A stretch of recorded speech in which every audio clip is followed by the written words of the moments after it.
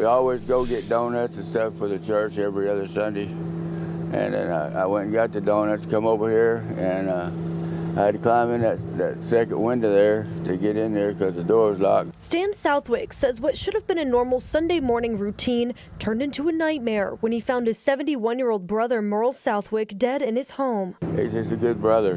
He always was there for me. Southwick's best friend says Merle's loss is one that will impact more than just his inner circle. in the community. We, you know, he would cook and feed everybody, and I feed the homeless. So uh, he would help me a lot by donating, giving me food and clothing and stuff like that. Calling him a helper with a big heart, He was a big brother to me. If I needed anything or needed help with anything, he was right there for me. Now the family says they want to honor Merle and the man he was with a proper funeral and burial. Plus, OKC police say they need the public's help in finding out who killed him and why. I don't understand it. I just don't, and it's very heartbreaking because he didn't deserve it.